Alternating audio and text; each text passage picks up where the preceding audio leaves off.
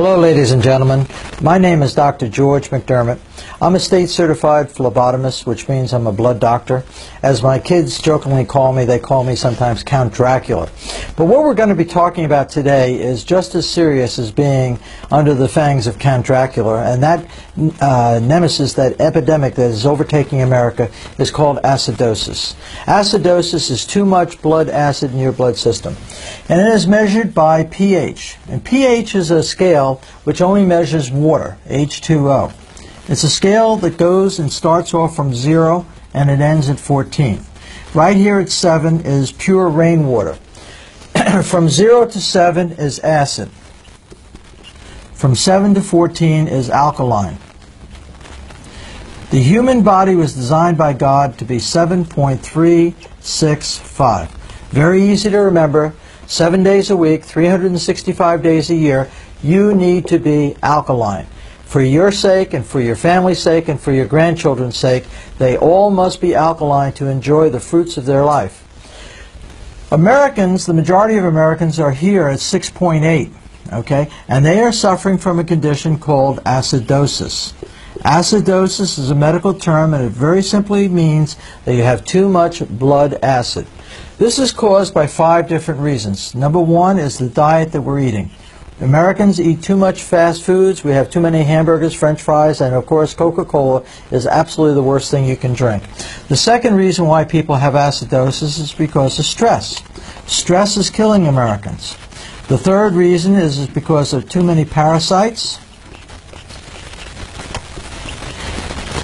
The fourth reason is because of uh, drugs, and I'm talking about um, over-the-counter medications. I'm talking about um, aspirin, um, uh, acetaminophen, which is also called Tylenol. We're also talking about Aleve. All these medications have too much acid, and too many Americans are doing this.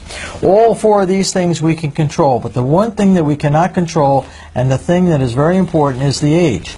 Because the older we get, the more acidic we're going to become, and this is going to destroy the quality of your life.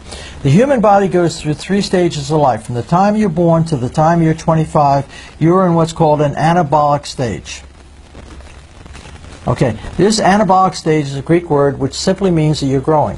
When you were born, you were 7.7 on the pH scale. You start off at 7.7. From 25 to 45, you are in what's called homeostasis. At this period, you are 7.0. This is a balancing act. That's what homeostasis means. Starting off at 45 very slowly, but you become more and more acidic. This situation medically is called catabolic. Catabolic is the opposite of anabolic. Catabolic is a Greek word which basically means you're falling apart. All right, now, the problem is, is when you get to 6.4 on this pH scale, which is out here, you die. Okay? So this is a lifeline right here.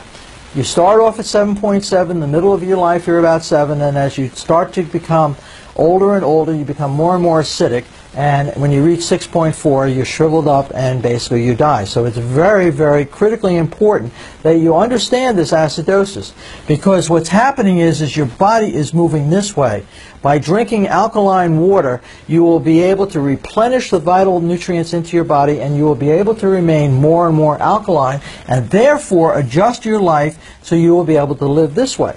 Okay? This is not only important for yourself, it's important for your children and important for your grandchildren. Everybody needs to participate in this. And the easiest method of doing this is simply just drinking a glass of water, eight glasses of water a day. By doing that, you are naturally restoring the alkalinity into your bloodstream and you're keeping away from the ravages of chronic disease.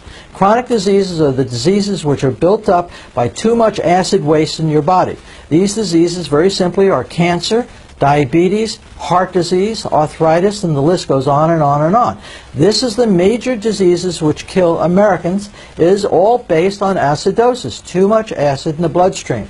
If you want to preserve your family, if you want to give your family the quality of life that they deserve, not only for yourself but also for your children and your grandchildren, you must remain alkaline.